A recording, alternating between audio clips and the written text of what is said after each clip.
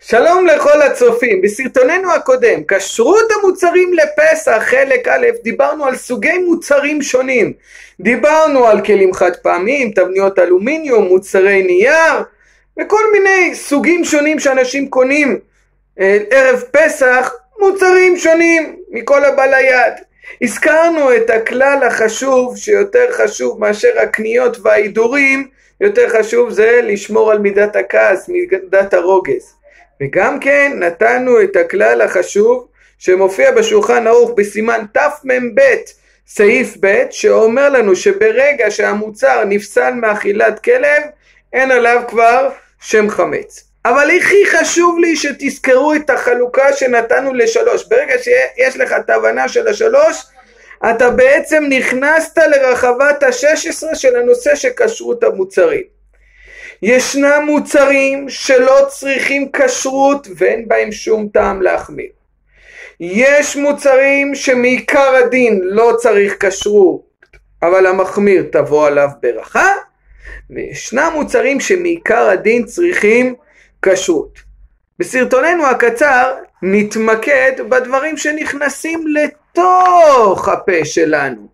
אודם, שפתון, וזלין, מי פה, משחת שיניים, מברשת שיניים. שימו לב איך אנחנו נעבוד באותה שיטה הלכתית. נפתח באודם, שפתון ווזלין. אני שואל את עצמי שאלה פשוטה, יש טעם או אין טעם? יש הנאה או אין הנאה? אם יש הנאה זה כבר ראוי לאכילת אדם, אסור ליהנות, אסור לקיים. זו השאלה הפשוטה. לכן, אם אודן, שפתון ובזלין יש בהם טעם, אז הם צריכים כשרות לפסח. יכול להיות בזה חשש חמץ, כי זה ראוי למאכל אדם, לא רק למאכל כלב. וכל דבר שלא נפסל מאכילת כלב, אסור ליהנות ממנו, אז אתה לא יכול לשים. אני אומר גם כל השנה כולה, ברגע שאתה שם את זה, לפעמים זה נכנס לתוך הפה, לפעמים יש פה צד של הנאה, לכן אם זה אודם, שפתון ווזלין שיש בהם טעם, צריך מעיקר הדין כשרות. מאידך, אם זה אודם, שפתון ווזלין שאין בהם טעם, מעיקר הדין לא צריך כשרות. למה?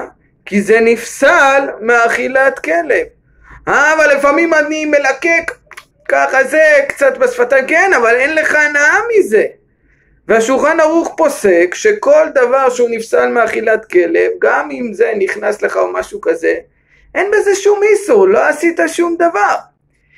יש עניין להחמיר מצד אח שווה, מי שמחמיר בעניין של שיחה, יש צד להחמיר, אבל מעיקר הדין, אודם, שפתון ווזלין, לא צריך כשרות אם אין בו טעם. יש בו טעם, צריך כשרות.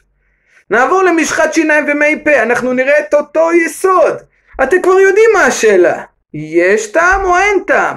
אם אנחנו מדברים על משחת שיניים של ילדים, טעם תות, טעם פירות, זה צריך מעיקר הדין כשרות לפסח. יש פה צד של הנאה, יש פה טעם. זה ראוי למאכל אדם, אנשים אוהבים את זה. עצם השימוש והחשש של בלייה מצריך כשרות. מנגד, אם זה משחת שיניים כמו משחה של מנטה, חריפה, שאנשים לא אוהבים את זה, הם לא אוהבים שטיפה נכנס להם לתוך הפה, הבן אדם מרגיש ככה קצת שורף, קצת לא נעים. במצב כזה, בצורה פשוטה, זה לא ראוי למאכל כלב, ומעיקר הדין צריך להיות מותר גם בלי כשרות. עם זאת, יש פה יותר צד להחמיר, למרות שאין בזה טעם, כי זה לא בדיוק אין טעם. יש טעם מנטה, יש אנשים שאוהבים את ה... על הבוקר להתאוורר ככה עם משחת שיניים, טעם מנטה. וואי, מאוורר, ריח טוב.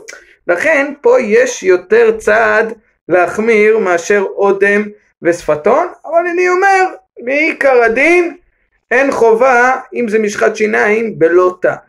מה קורה אם הגעתי לחבר או נסעתי למשפחה או בבית לא מצאתי, לא קניתי משחת שיניים כשרות לפסח. אפשר להשתמש או אי אפשר להשתמש?